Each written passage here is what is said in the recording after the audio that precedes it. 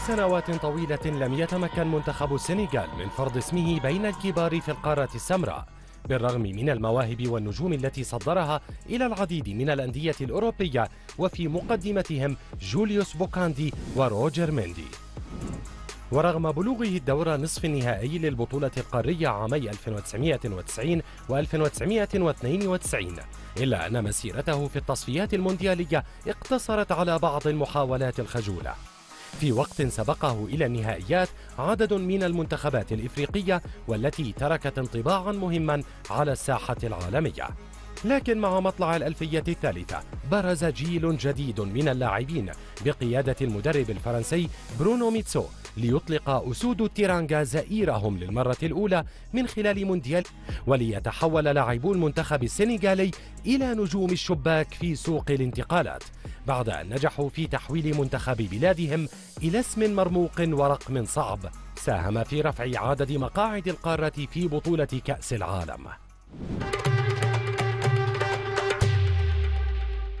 مشوار السنغال في نهائيات كأس العالم بدأ متأخرا بالنظر إلى أنها بقيت مستعمرة فرنسية حتى منتصف الستينيات من القرن الماضي. فكانت أولى مشاركاتها في التصفيات التأهيلية من خلال مونديال مكسيكو 1970 لكنها انتظرت حتى مطلع الألفية الجديدة وذلك مع مدرب فرنسي مغمور يدعى برونو ميتسو. واستفادت السنغال من الوقوع في مجموعة تضم مصر والمغرب والجزائر ضمن تصفيات الدور النهائي. بعد أن تضاربت نتائج المنتخبات العربية بشكل كبير. ليتصدر أسود التيرانجا المجموعة بفارق الأهداف عن المغرب ويبلغ النهائيات التي استضافتها كل من كوريا الجنوبية واليابان عام 2002 أشفق الكثيرون على المنتخب الإفريقي بعد أن أوقعته القرعة في مجموعة تضم فرنسا بطلة أوروبا والعالم والأورجواي بقيادة نجميها فورلان وريكوبا والمتوجة باللقب العالمي مرتين إضافة إلى المنتخب الدنماركي. لكن السنغال فجرت واحدة من أكبر مفاجآت المونديال عبر تاريخه بعد أن حققت الفوز على منتخب الديوك الذي ضم واحدا من أفضل الأجيال الكروية التي مرت عليه في تاريخه. وذلك بهدف حمل توقيع بابا بوبا ديوب. وبرهنت السنغال على أن ما حققته في المباراة الافتتاحية للمونديال لم يكن من قبيل الصدفة إذ تمكنت من معادلة الدنمارك بهدف لمثله والأورجواي بثلاثة أهداف لمثلها لتضمن قطع تذكرتها إلى الدور الثاني في أول مشاركة لها على الإطلاق. وبقيادة النجم هنري كامارا تمكنت السنغال من العبور إلى الدور ربع النهائي كأول منتخب من القارة السمراء يتمكن من الوصول إلى هذا الدور بعد أن تغلبت على السويد بهدفين لهدف في الوقتين الإضافيين. قبل أن تتوقف مسيرتها أمام منتخب تركيا في الدور التالي بهدف قاتل في الدقيقة الرابعة من الوقت بدل الضائع. لكن السنغال كسبت احترام العالم أجمع بفضل الأداء الهجومي والقتالي الممتع وليتحول مدربها الراحل ميتسو من مدرب مغمور إلى ساحر بين ليلة وضحاها. عاشت السنغال على إرثها هذا لسنوات قبل أن تعود مجددا مع جيل جديد من اللاعبين إلى نهائيات كأس العالم في روسيا 2018 ورغم أن القرعة بدت أكثر توازنا وسهولة هذه المرة بتواجد كل من اليابان وكولومبيا وبولندا إلا أن السنغال فشلت في العبور إلى الدور المقبل على الرغم من أنها حصدت أربع نقاط من فوزها على بولندا بهدفين لواحد وتعادلها مع اليابان بهدفين لمثلهما. إذ إن خسارتها بهدف أمام كولومبيا أدت إلى احتلالها المركز الثالث بفرق قاعدة اللعب النظيف التي مالت لصالح منتخب الساموراي وذلك بفارق إنذارين فقط.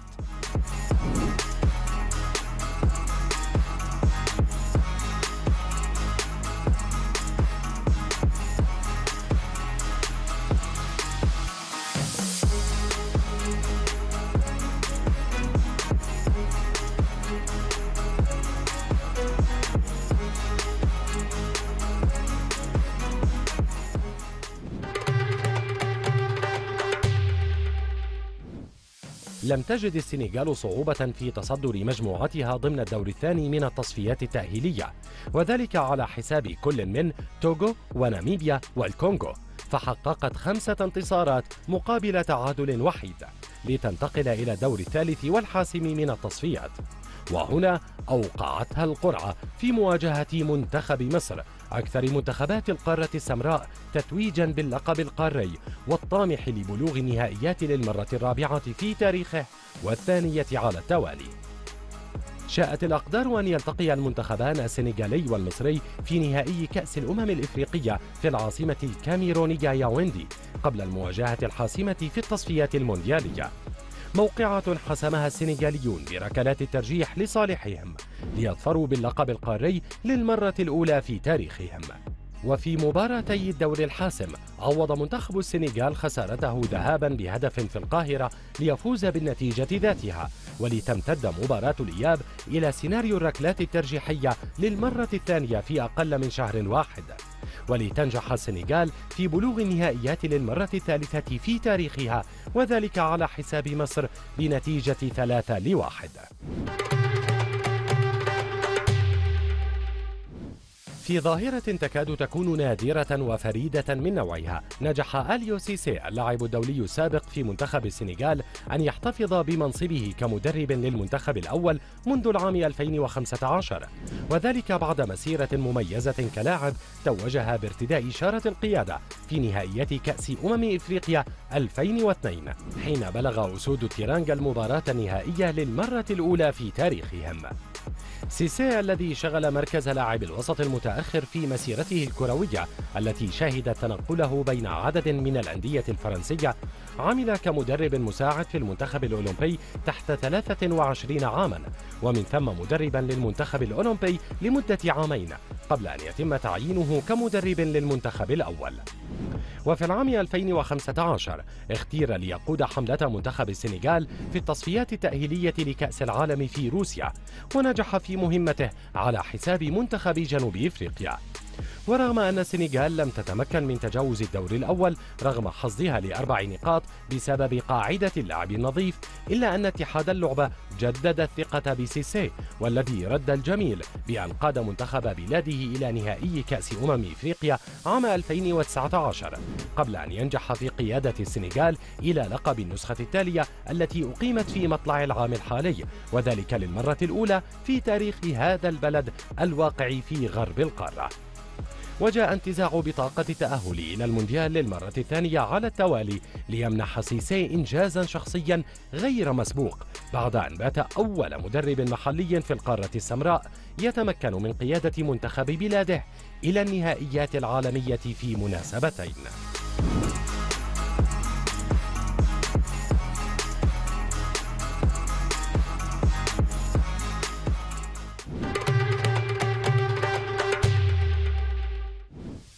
بسرعة البرق صعد ساديو ماني إلى عالم النجومية بعد مسيرة امتدت لخمس سنوات فقط في أندية الليغ 1 حيث لفت أنظار كشافي نادي ليفربول الإنجليزي في العام 2016 لينضم إلى الريدز قادما من فريق ساوثهامبتون مقابل 34 مليون جنيه استرليني وهو ما جعله أغلى لاعب إفريقي على الإطلاق في ذلك الحين. لعب ماني دورا رئيسيا في عودة ليفربول إلى منصات التتويج في مختلف البطولات بعد سنوات طويلة بفضل أهدافه وتمريراته الحاسمة واعتماد الألماني يورجن كلوب عليه كثيرا. ونجح في أن يحتل المركز الرابع ضمن التصويت على جائزة الكرة الذهبية التي تمنحها مجلة فرانس فوتبول الفرنسية وذلك عام 2019 وعلى المركز ذاته في جائزة ذا بيست التي يمنحها الفيفا لأفضل لاعب في العالم في سنة 2020 مانيا الذي احتفل بعيد ميلاده الثلاثين في العاشر من شهر نيسان أبريل الفائت توج في الأعوام الأربعة الأخيرة بكل الألقاب الممكنة مع ناديه ليفربول ومنتخب بلاده. وهو يأمل بأن يقود السنغال إلى إنجاز جديد.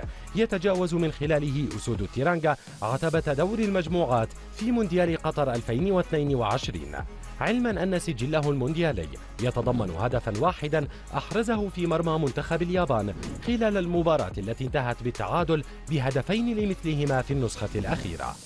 يحظى ماني الذي غادر ليفربول وانضم إلى بايرن ميونخ والذي بات الهداف التاريخي للمنتخب السنغالي من خلال أهدافه في تصفيات كأس إفريقيا كوت ديفوار 2023 يحظى بشعبية ومحبة كبيرتين في بلاده ومعظم أرجاء العالم.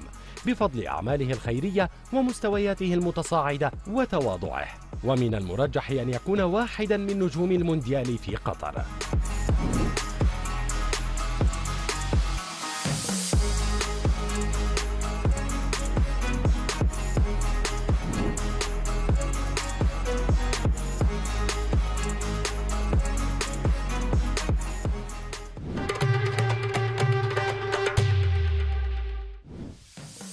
رسمت قرعة نهائيات مونديال 2022 الابتسامة على وجوه مشجعي منتخب السنغال بعدما شاءت أن تضعه في مجموعة تدرج تحت مسمى السهل الممتنع إلى جانب منتخبات قطر والإكوادور وهولندا.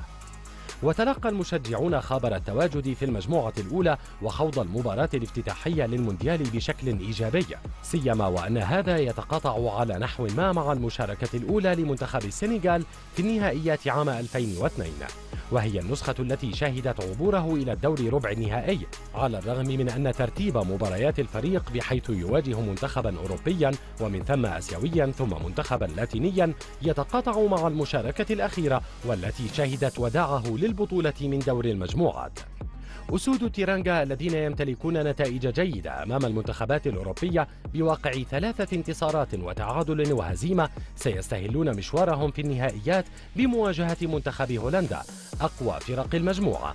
ويأمل رفاق ساديو ماني أن يتمكنوا من تسجيل مفاجأة أولى في المونديال كما فعل أسلافهم قبل عشرين عاما أمام المنتخب الفرنسي.